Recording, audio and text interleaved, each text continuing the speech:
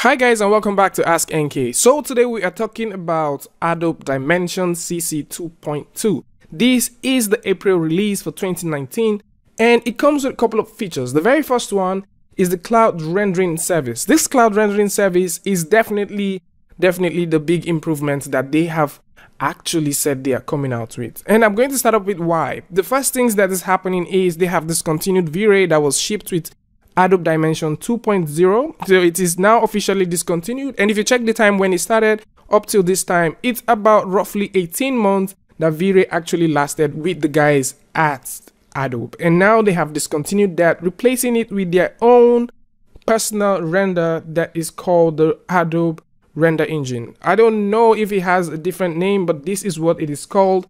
And for now, we're going to stick with that till they actually give it a proper name. For you to use the Adobe Cloud Rendering Service, you need credits. Depending on the resolution of your file, you can go ahead and pick up a credit ranging from one to three credits for each render you're going to do and that is how good it's going to get. The next big thing that is uh, talked about is there is now support for Substance. Now you can now have your Substance Designer and your Substance Painter directly your materials can be shipped directly into dimension. And this makes a lot of sense knowing fully well that they've just acquired the guys at Allegorithmic so you can now have all of those your substance materials or your substance uh, designer files and you can bring them right in. You can do all of your tiling you can do all of your grungy thingy directly inside there. As far as you have the .sbsar file you can do all of those amazing things inside there. I'm to put links in the description so you'll be able to find those things out for yourself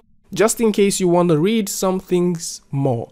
The next thing which you're going to notice is there is now update for place graphics. Now the update for place graphics now simply means that you can now use images that you have from your PC, downloaded from the internet, stole from someone. You can now use those things as decals on your models. It now has the support for you to entirely fill these things. You can also tile, repeat and mirror. Very, very basic UV uh, transform uh, features. You can have all of those things now.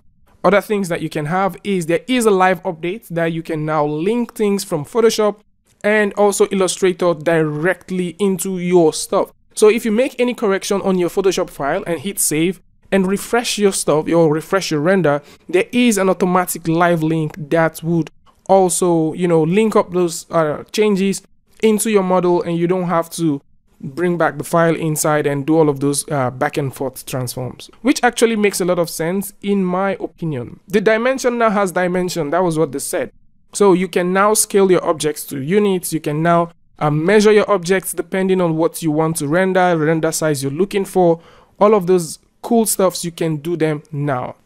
Now, the next thing which I want to talk about is this. Is this Adobe's move to uh, eliminate the guys that are into rendering? Because, you know, this is actually targeted to people that are into things like um, product shots, product visualization, abstract art, and all that, all of those things, right? Is this their, their, their move to take out the guys that work with things like Keyshot and Marmoset and, and other rendering apps out there is this the, the, the, the stuff to, to take them out? Because now we have substance. Definitely, definitely, if you are a key substance user, you cannot, for any reason in the world, run away from using Adobe right now. You cannot run away from using Adobe right now. Following the fact that you can definitely render your stuff on the go using the Adobe Dimension. So you can see where these two things tie. So you cannot really run away from it. So if you want to get a very, very amazing workflow if you're someone that loves having a very streamlined workflow. So you have Adobe and Adobe have you on their fingers right now. So I would like to know what you guys think about these updates and these things in the comment section below. Let's have a chat down there. And if you like this video, simply give it a like and don't forget to share it with your friends. And if you're new here, it would be awesome if you can hit that subscribe button and also turn on notifications so you'll be the first to know once we release a new video. And until I see you guys again with a tutorial review, free Friday update, tips and tricks, things like this, peace.